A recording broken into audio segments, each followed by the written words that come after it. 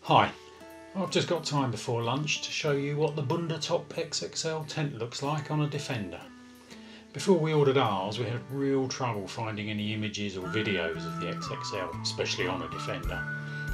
This XXL variant is also known as the Bunder King in certain territories.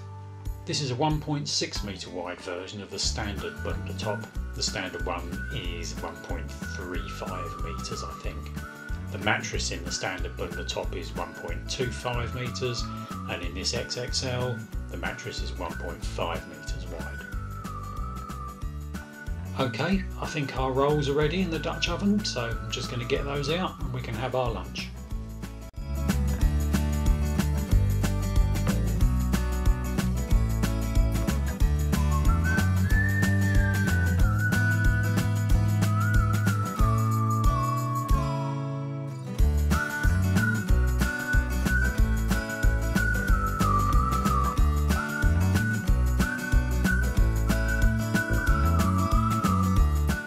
Now we originally ordered the standard version but I'm sad enough to have built a mock-up of the space at home so we could try it out and for us it was just a bit too small so thanks to Tough Trek who supplied it we were able to swap to the XXL without any fuss.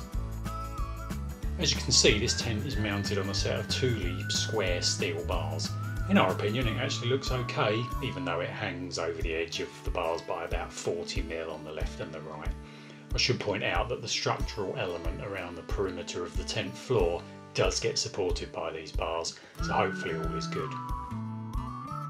If you've got a front runner rack, then this tent will possibly overhang on each side by maybe 100 millimeters, so that could mean the structural perimeter on the base might not be directly supported, and I also think it looks a bit clunky with that much of an overhang.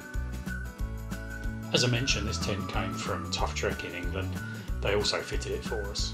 Our experience using them was great. Lucy and Dara are helpful, knowledgeable, just nice people to deal with. We have no connection to them, but credit where credit is due. Well done, Tough Trek.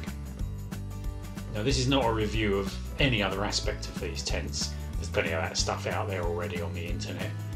But I would like to add that this tent now has a switch inside that cuts the power so that you can flip the switch when you are up in the tent and it isn't possible for some smart ass to collapse the tent down on you during the night.